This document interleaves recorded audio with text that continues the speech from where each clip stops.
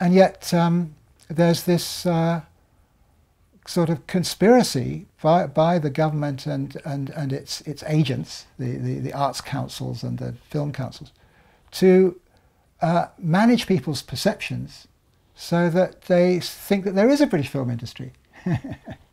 and uh, of course, it's, it's terribly hard because you get all these kids doing media courses at universities thinking there is a British film industry and that, you know, if they're, as you say, talented, they have merit, that they will be able to join in and make, start making films. So when they come out, they're confused. They don't understand why can't they get any work?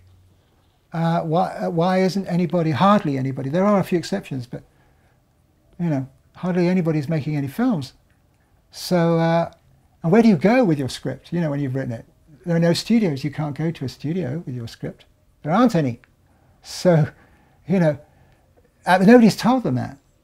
So, you know, as, as somebody who's, um, you know, a bit older now, it's like, yeah, I, I'm going to tell people the truth because I don't want them to go through, you know, unnecessary uh, pain and suffering and, con and, confusion simply because the government's lying to them.